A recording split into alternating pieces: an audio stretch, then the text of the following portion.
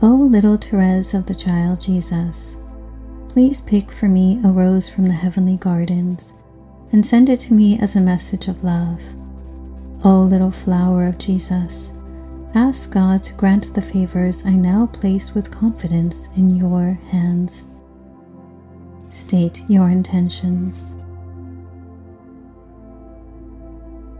Saint Therese, help me to always believe as you did in God's great love for me, so that I might imitate your little way each day.